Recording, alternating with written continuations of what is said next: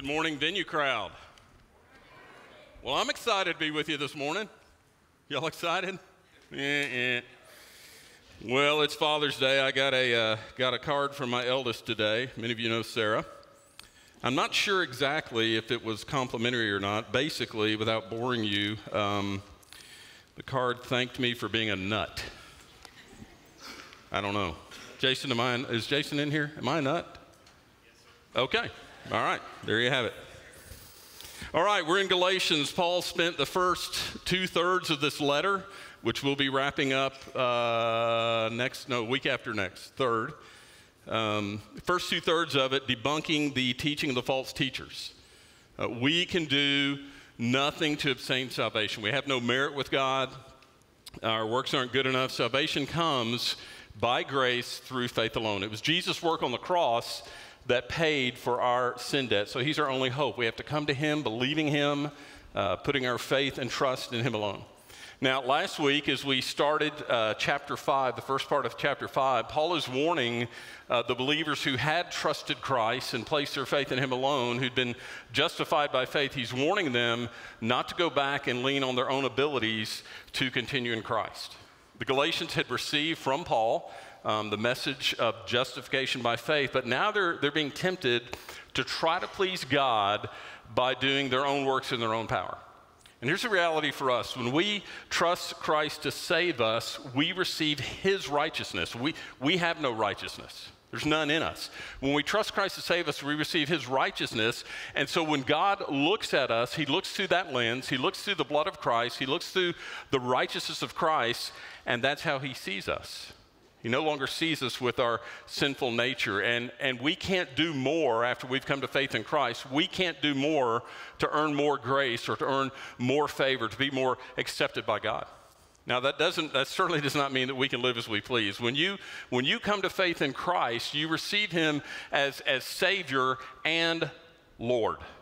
There is a point of surrender in that moment that you have to understand. It's not just receiving Christ to pay for your sin, to forgive you, to give you a home in heaven, but you also surrender to Him as Lord. You, you no longer live in a way to please your, your sinful nature. You choose to follow Christ. You choose to submit to Christ. You choose to obey Christ.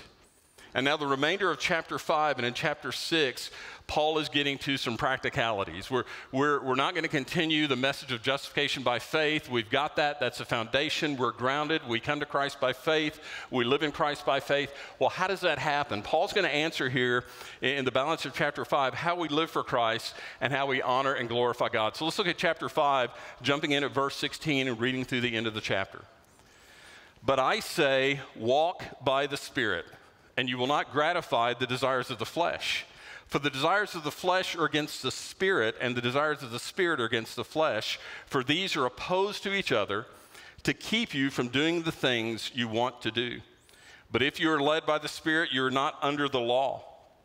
Now, the works of the flesh are evident sexual immorality, impurity, sensuality, idolatry, sorcery, enmity, strife, jealousy, fits of anger, rivalries, dissensions and divisions, envy, drunkenness, orgies, and things like these.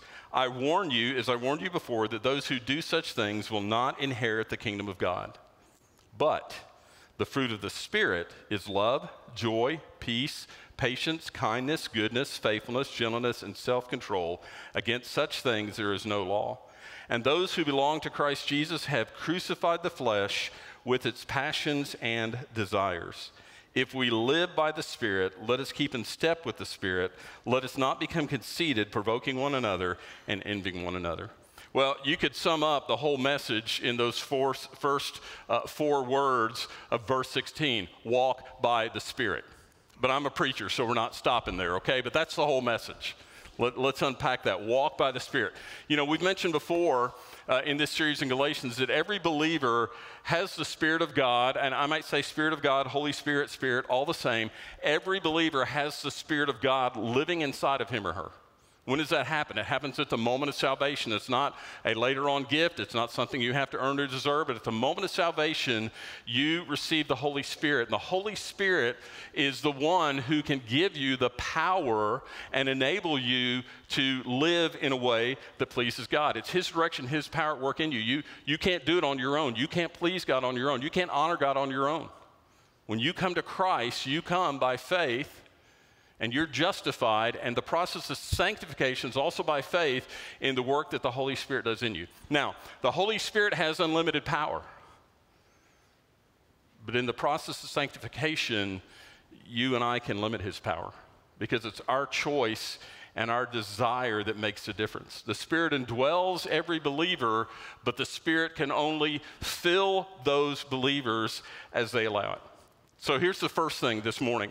Walking by the Spirit enables you as a believer to be filled by the Spirit. You want to be filled by the Spirit, you want to have His direction, His control in your life, then you choose to walk by the Spirit. And, and here in the Greek, and I don't, I don't study Greek a lot, but sometimes it's important to point out, here in the Greek, the word walk is, is a present tense verb. That means there's no time of completion. It's not a thing that you do one time and you're finished. The word walk, the translation of walk, is to keep on walking. It's a continual action, it's a, it's a habitual lifestyle.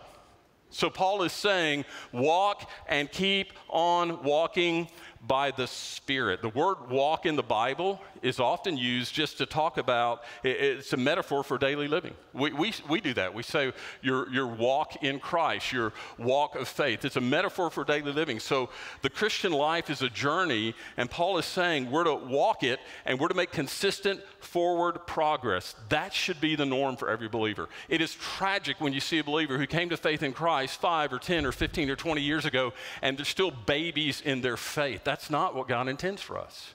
We're to walk, we're to move forward, we're to have progress.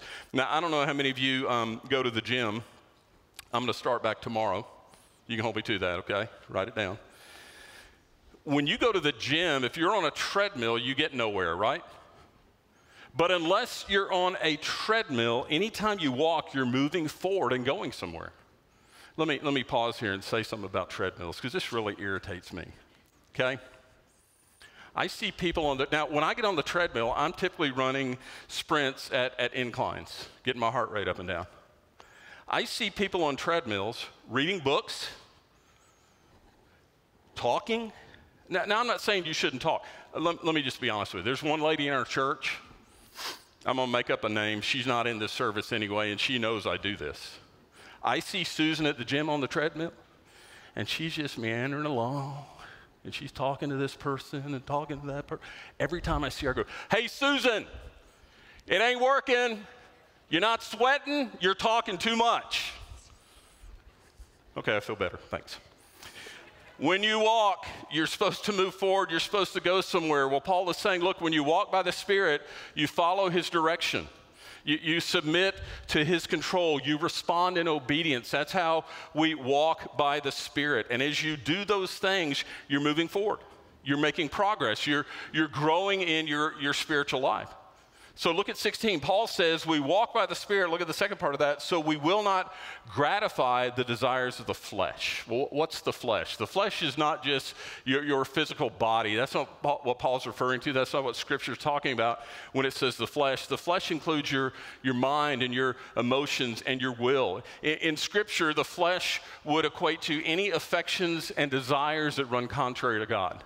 That's the flesh affections and desires that run contrary to God. So basically, I'm saying to you, the flesh is anything that opposes God. Anything in you that seeks gratification that is sinful, that's the flesh. That's what Paul is talking about here when he says you won't satisfy the desires of the flesh. See, here's the reality when you come to Christ, you receive a new nature. We know that. Scripture's clear on that. But the old nature is still present. Now, I've heard some pastors, I've heard some TV preachers actually say that when you come to Christ, you receive your new nature, your old nature dies. That's not true. That's not at all what Scripture says. You have a new nature, but the old nature is still present. That's what Scripture is referring to when it talks about the flesh. And the thing about the flesh, the thing about the old nature is you, you can't reform it, you can't improve it, you can't make it better. That's why when you see people either who don't know Christ or Christians who are not walking by the Spirit, you'll see them doing a lot of things to try to be a better person. Your flesh can't be better, and your flesh can't be improved. In your flesh, you cannot please God and you can't serve God because your flesh is in continual rebellion against God. That's exciting news, isn't it? Kind of makes it sound hopeless that we could walk in, in, in faith and that we could honor and, and we could please God. It, it is hopeless in your flesh. But Paul says here if you walk by the Spirit, you will not gratify your sinful desires. You're still going to struggle, but there's absolutely no need for you to give in. Look at verse 17. He explains the struggle. Your old nature that's what you got at birth. You were born with that sinful nature, you were born with flesh. Your old nature doesn't disappear, but you receive that new nature when you were born spiritually when you came to Christ. And so verse 17 says what's happening is there's a battle going on. Your two natures are warring for control. Your old nature is warring for control to get you to live in sin and, and just pursue everything you want to pursue, every passion, every desire, no matter how evil. And your new nature is warring. The flesh and the spirit are opposed to each other, they're in conflict. It's a constant conflict. Look what Paul says they keep you from doing the things you want to do. The flesh tries to stop you from doing what the Spirit of God wants you to do, from obeying the Spirit of God, and the Spirit of God tries to turn you away from fulfilling your sinful and fleshly desires. And so your flesh is centered on your will, and the Spirit is trying to focus you on the will of God. So, how do we win the battle? How do we walk by the Spirit? It's really a matter of focus more, more than anything else. It's a focus on the Word of God. When, when, you focus on the Word of God, you see things from His perspective and you respond in ways that are pleasing to Him. But if your focus is on the world, on popular culture, on, worldly philosophies, on conventional wisdom, that's going to cause you to have a perspective that is completely contrary to the things of God. As you focus on the things of the world and those philosophies and that wisdom and, and what culture's doing, you end up with a judgment that is warped and you just add to the battle on the evil side because you're constantly going to be bombarded with the world's values and sinful desires. I know you can't stick your head in the sand, okay? We live in a world where we're going to be seeing and hearing things that are contrary to the things of God. But the key is where we're going to let our focus be. Several years ago, I was working with a group of guys, and we were writing a, um, a weekend seminar uh, for, for teenagers uh, called Growing in Godliness. It was primarily on moral purity. And I remember one day when I came in and we were doing some writing, I said, you know, I just driven in the interstate and there was all kind of trashy billboards. I said, you know, I don't know how we're going to help young men in the culture we live in. You, you can't drive down the interstate without seeing something that's going to cause you to have ungodly thought. And one of the guys said this Well, you know what? A bird may land in your hair, but you don't have to let it build a nest. That's some good advice with the things that we face in our culture today. You can't avoid it. It's right in front of you, it's right in your face, but you can choose what you're going to focus on and not let those things build a nest. So, so we have to take steps to counteract those godly messages. You, you can't just create a vacuum in your mind and say, well, I'm not going to think about that. If I told you right now, hey, I want everybody, close your eyes, everybody close your eyes, close your eyes, close your eyes. Okay, with your eyes closed, I want you to picture a giant, nine foot tall, neon red number nine. Let, let that kind of burn into your retina, into your brain. A giant, nine foot tall, neon red number nine. Everybody got it? Okay, if you got it, open your eyes, look up. Okay, I want you to just forget that, okay? Now, some of you are going to stay on the number nine for the entire rest of the time we're in here today. You have to replace a thought with another thought. You can't just wipe your brain, wipe your mind clean. And if we're going to counteract the ungodly messages or ungodly philosophies in this world, if we're not going to dwell on those things, and, and, be out of step with the Spirit, then we have to do something to counteract that. Paul in, in uh, Colossians 3 2 basically said it this way set your mind on the things above, not on the things on earth. It's a focus.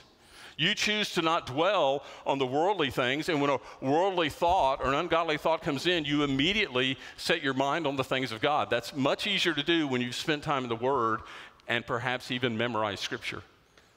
Paul in Romans 12, 1 and 2. You know, you know the passage. I urge you, brothers, by the mercies of God, to present your bodies a living sacrifice. You're supposed to live for Him. And in verse 2, he gives a real key. He says, Don't be conformed to the world, but be transformed, be changed, be different. We're supposed to look different than the culture in the world. Be transformed, be changed, be different by what? The renewing of your what? What's it say? Is it up there? Yes, thank you. There it is. Mind. By the renewing of your mind.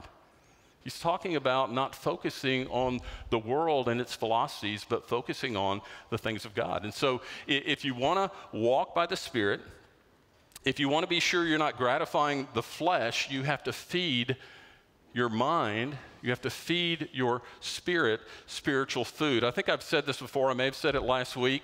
The old Indian chief who talked about the war going on inside him, he said there's a black dog and a white dog, and they're constantly fighting, they're constantly at war. And how do you know which dog wins? It's the dog that you feed the most.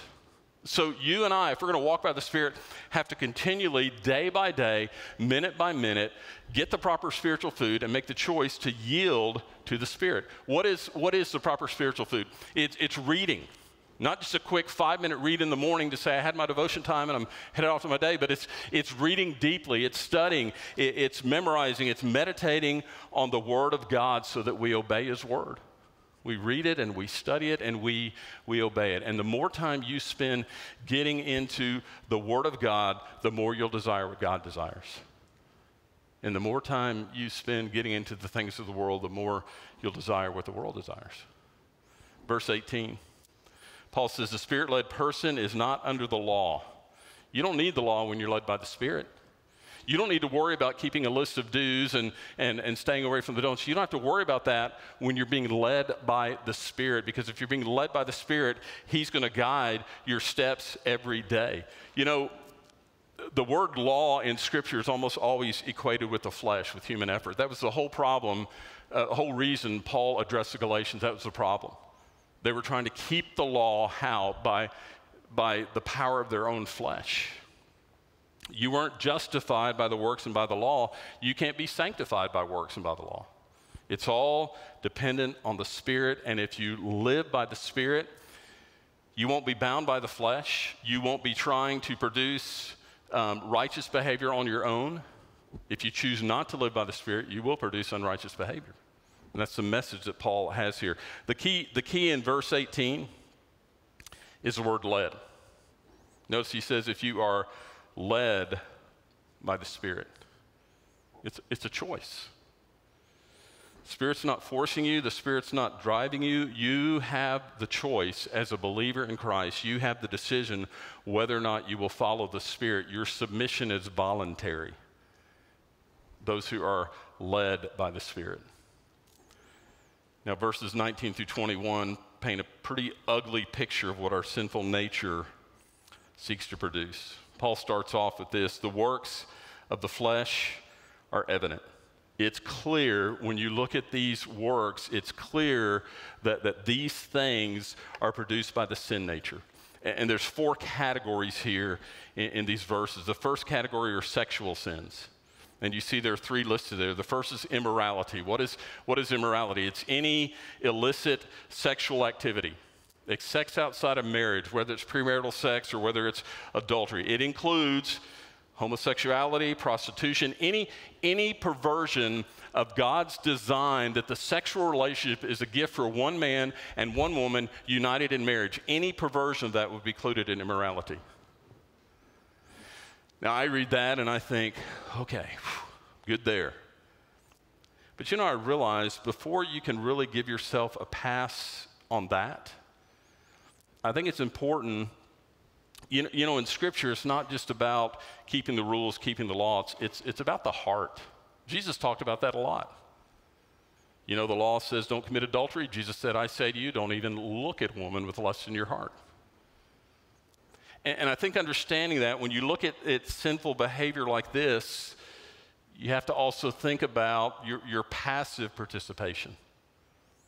It's watching these behaviors on television and, and in movies. Sorry for your toes. Just wanted to suggest that. Second, in the list of sexual sins, impurity. That's, that's a very broad term. Impurity refers to any unclean thoughts or any unclean words or any unclean deeds. It would include uh, dirty language, dirty actions, crude humor, all that's included in that. And then sensuality. Sensuality, very simply, is unashamed boldness, a lack of restraint, a brazen display of evil. You don't care what anybody thinks, you don't care about anything. You're just into the evil and into the sensual, and, and you don't worry about it.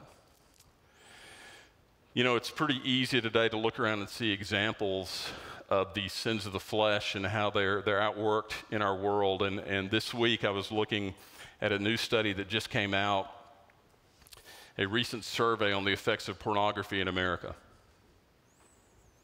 Every second, every second, every second in the United States, $3,075.64 is being spent on pornography. That equates to $265 million a day. Almost $97 billion a year. Every second in America, there are 28,258 internet users viewing pornography every second. And every 39 minutes in our great creative culture, every 39 minutes, a new pornographic video is being created in the United States. I thought of the words of Jeremiah The heart is more deceitful than all else and is desperately sick. Who can understand it? The only way we can avoid the sickness that's in our culture is by walking by the Spirit. Second sins that are listed here, second category, two of them, and these are spiritual sins. The first he lists is idolatry. What is idolatry? Well, it's, it's bowing to other gods. Oh, well, we get a pass here too because we aren't involved in idolatry, right? What about this definition of idolatry? Anything we worship other than God anything more important in our lives, whether it's our possessions or our position or, or, or, or power or pleasure or prestige, if the Lord's not first, we are guilty of idolatry. The second religious or spiritual sins he lists is the sin of sorcery. That is seeking supernatural powers. That's uh, getting involved in in um, spiritual darkness and, and, seeking power. Interestingly, the word sorcery in the Greek is the same word from which we get our word pharmacy. And the reason he uses that word to talk about sorcery is the ancient worship of evil powers was usually uh, accompanied with the use of drugs in order to um, create visions and, and trances. And it's interesting in Revelation 9 and Revelation 18, if you read through what's going to happen at the end of time, those are going to be, sorcery is going to be a prominent issue during the period of the tribulation. Third, third list, I know I'm moving pretty quick, but we need to get through this. The third list here that, that Paul gives um, are, are social sins. Let me just run through them and define them for you. Enmity, that's hatred total lack of love for someone, strife, creating conflict and discord, jealousy, resenting what someone else has. Fits of anger, that's rage and, and outbursts of temper. It, you know, fits of anger typically happen when smoldering jealousy finally erupts. That's where you see fits of anger. Uh, rivalries or strife, that's selfish ambition, striving to get ahead at the expense of others, not, not worrying about who you step on on the way to the top. Dissensions, quarreling, uh, divisions. Divisions are factions that are caused because of different opinions that frequently are substituted for the truth. Let me illustrate that very simply. That's why we have so many different religious groups. So many of them have replaced the truth with thoughts of men, and you see splinter after splinter after splinter of divisions. And then envy. Envy is not only resenting what someone has, Jealousy is resenting what someone has. Envy is not only resenting what they have, but it's a wrong desire to possess what another person has. You can imagine what that would lead to. And then finally, the, the fourth category here in Paul's list are two final or two additional sensual sins. Remember, sensual is a lack of restraint. And so you see, he lists drunkenness, which is excessive use of strong drink, and then orgies, which is simply drunken carousing, just excess, sensual excess. And he doesn't leave anything out. This list is representative, it's not exhaustive. You see that phrase, and things like these. I don't know about you, but just reading that list kind of makes me feel dirty. It's unbelievable that people would participate in, in those types of behavior. And, and look now at the, the second sentence, the last sentence in verse 21. Paul lists all these things. He says, and things like these. And then listen, I warn you, as I warned you before, that those who do such things will not inherit the kingdom of God. He's saying to the Galatians, hey, these things may have been in your past, but if you surrender to Christ, they certainly better not be in, in your future. These are, these are things that people who don't walk with God do. And so you read what Paul says here, you read the warning here, and you might wonder so does that mean that these particular sins send you to eternity in hell? Well, we have to understand what he means when he says you do such things. Do does not refer in this, does not refer in this passage to a, to a one time action. Is it possible for a believer to, to fall into one of these sins, to have sinful desires and give into one of these sins? Absolutely. Anytime you're not walking by the Spirit, you're not walking in the Spirit, that could happen. If you're not consistently walking by the Spirit, you might give in. He says, Those who do such things, that means those who do or practice these things regularly, those who habitually repeat these actions, those who these actions he's listed here would be a reflection of their lifestyle. This is not an isolated lapse that you might have, but it's literally a continual trafficking in sin. You sin and you keep on sinning, and there's so much sin, there's really no evidence of a spiritual life in you at all. Paul is saying if you live in habitual sin, if you go on in sin, if you do not repent of your sin, you will not receive eternal life. You don't belong to Christ. Now, I mentioned last week, it's really important when you're looking at Scripture, it's really important to make sure you have the comprehensive picture and that you let Scripture interpret Scripture all scripture is very clear that those who live in sin, that those who go on in sin, that those who don't repent of sin will be condemned. Why? Because they haven't really come to Christ. And there are two very clear examples that should immediately come to your mind when I say that because I mention these all the time. And in Luke 6 and verse 46, when Jesus said, Why do you call me Lord and not do what I say? Just saying with your mouth he is Lord doesn't mean anything. It's what, what's worked out in your life. In Matthew 7 and verse 21, Jesus said, Not everyone who calls me Lord will enter the kingdom of heaven, but only those who do the will of the Father. Scripture is very clear. You can't live in habitual sin and claim that Christ is Lord. If that's not clear enough, consider the words of John in 1 John 3, verse 6 and verse 9. 1 John 3, John says, No one who lives in him keeps on sinning. No one who continues in, in sin has either seen him or known him. No one who is born of God will continue in sin. So it's, it's pretty clear from Scripture people who have those kind of qualities in their life, not an occasional sin, but habitual, ongoing, continual sin in their life, they don't, they don't belong to God. They don't belong to Christ. Verse 22. But, here's the contrast that Paul's setting up, and it's a very pointed contrast. Just as, just as there are certain characteristics that identify the ungodly, that, that list that we looked at, those controlled by the flesh, there are also certain characteristics that identify the believer and reveal that that believer is controlled by the Spirit. And before we look at the characteristics on display in the believer's life, look at the first phrase of verse 22. But the fruit of the Spirit. Two things you need to see there. One is the word fruit. The word fruit is singular. This is not like the gifts of the Spirit. If you read the, in the New Testament the list of gifts of the Spirit, the gifts that God gives each believer to, to edify and to build up each other and build up the church, the gifts of the Spirit you're not going to have all those gifts in your life. You might have one, two, three, maybe. You're not going to have all the gifts because the gifts are given to different people to make the whole body work together. But the word fruit is singular. You should have all nine aspects of the fruit in your life. Don't look at the list and say, well, you know, I got joy in my life, so I'm good. No, you may be a joyful person, but maybe not very kind to others. The fruit of the Spirit is singular. You should have all aspects of the fruit in your life. The second thing I want you to see in that phrase is the fruit is the fruit of the Spirit, it's produced by the Spirit.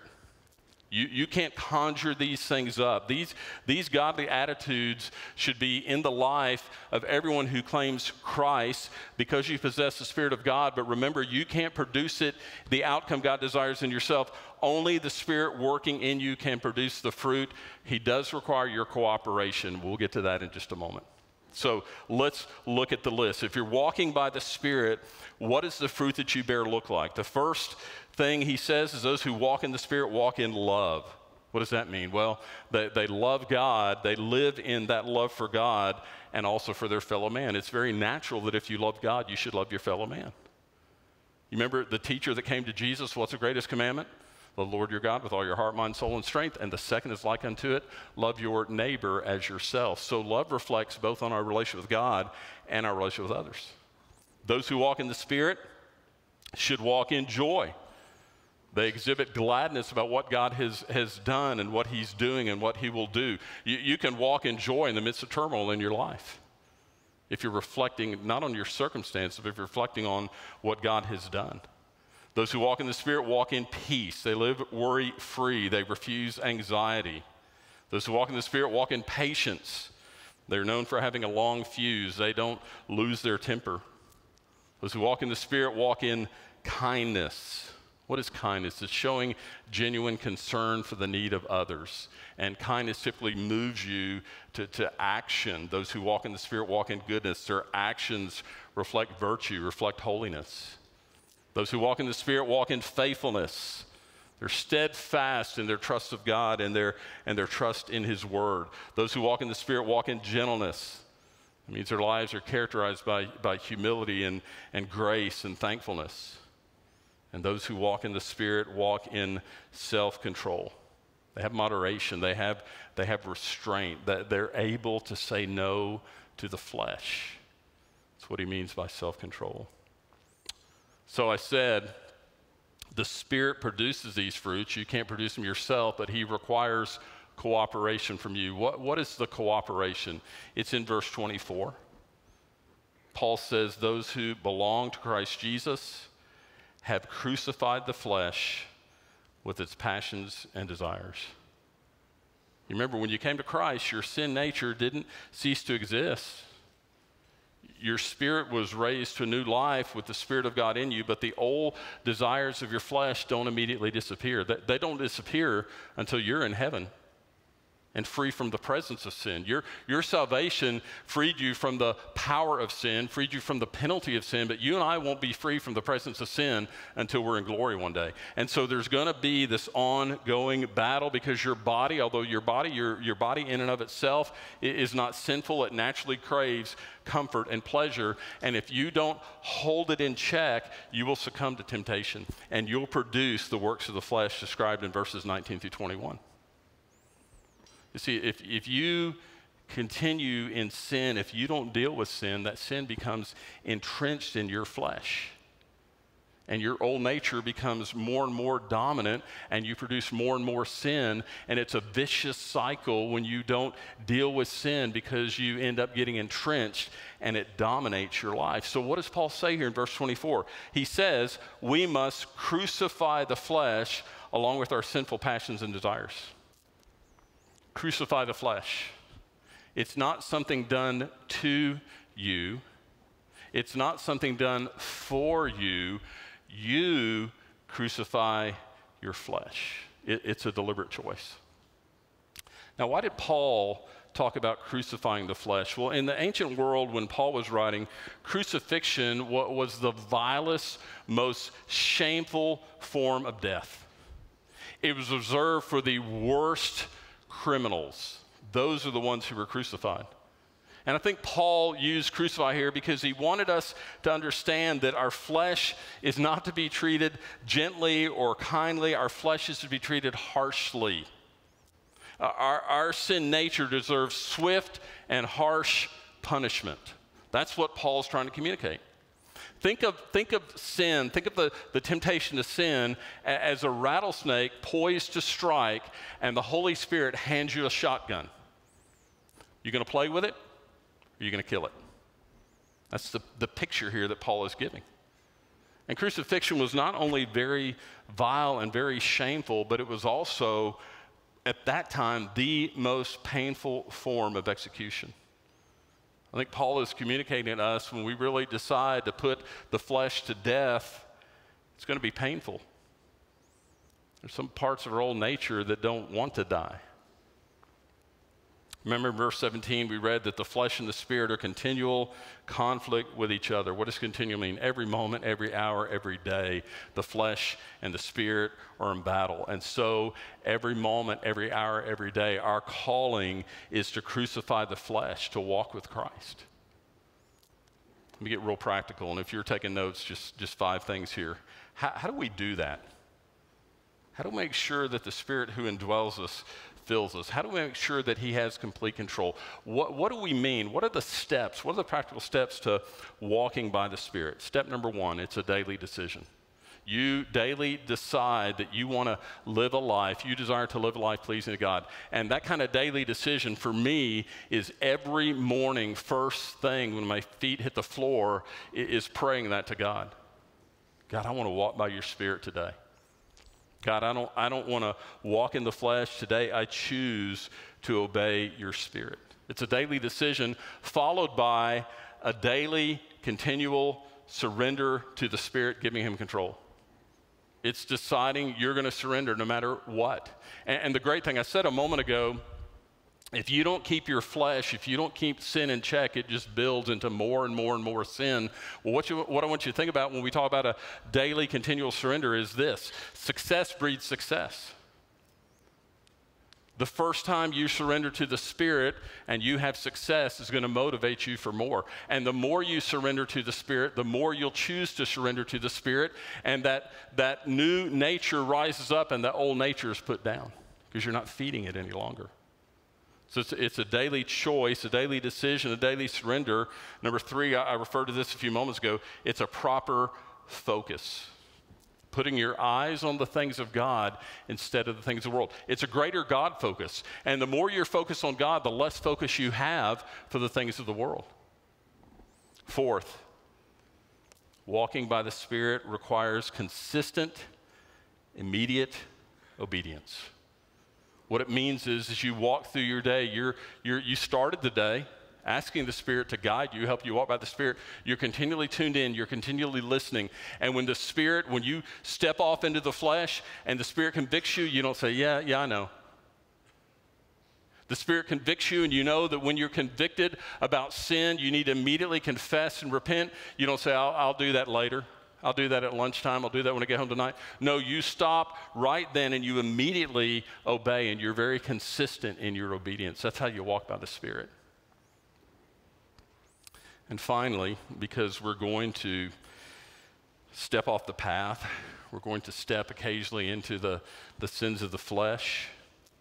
If you're going to walk by the Spirit, it means you live in a state of confession and repentance constantly confession and repentance. The Spirit speaks, you confess, you repent. What is repent? It's, it's a change in your course, it's, it's a 180 degree change. If I'm going this direction, I repent. I'm not going here or here, I'm going here. I'm getting as far away from that sin as I can get. I'm, I'm thinking, how can I avoid putting myself in that place of temptation again? How can I make sure I'm not putting myself in a place where I'm walking away from the Spirit and walking toward sin? Paul in Romans 13, 14 said it this way very simply make no provision for the flesh. make no provision for the flesh. To repent is to turn and to change course and change direction and change action so that I'm walking away from sin and walking to Christ. That's what it means to, to walk by the Spirit. Why is this so important? I'm convinced that many of us as believers, many of us who want to live for Christ, many of us who want to walk by the Spirit, forget every day as we get up and prepare to go to school or work or, or wherever we're, whatever we're doing during the day, I'm convinced we get up and we forget we're headed into a battleground. We get up and we start our day as if we're going to a play date on the playground. It's a battleground. And that battle's not just out there, that battle's in here. Those two natures are warring. If you don't walk by the Spirit, you will give in. You will fall to temptation. You'll give in to the flesh. And when you give in to the flesh and the Spirit convicts you and you don't choose to confess, you don't choose to repent, just like success breeds success, defeat breeds defeat.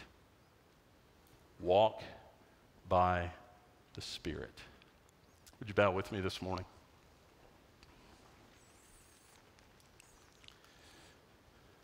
It's always important when we look to the Word of God, whether it's in a corporate setting like this or in a private setting, just in your time with the Lord, it's always important when we look to the Word of God to ask the question, What are you saying to me? That, that same Holy Spirit we've been talking about this morning, He authored this book.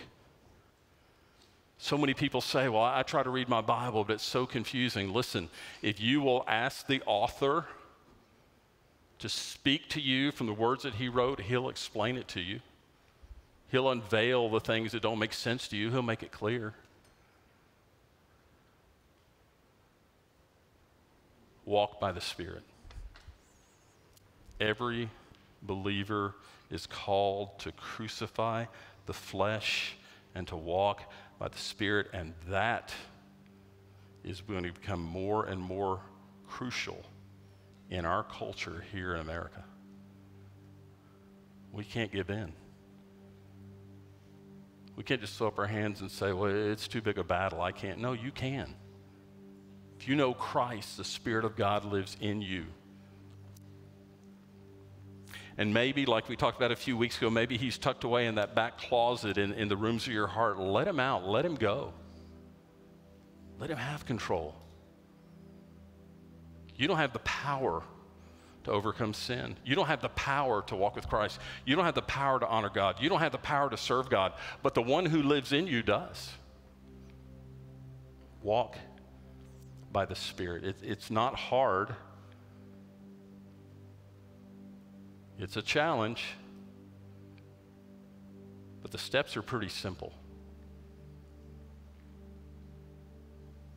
You may be here this morning and you don't have the capacity, you don't have the ability to walk by the Spirit because you've not given your life to Christ. As I said a few moments ago, it's not just about using your lips to declare He's Lord, it's about making the decision in your heart and in your life that you've asked Christ as your Savior who forgave your sins to also be the Lord of your life. It's a complete surrender. In a few moments, we're going to sing, have a response time.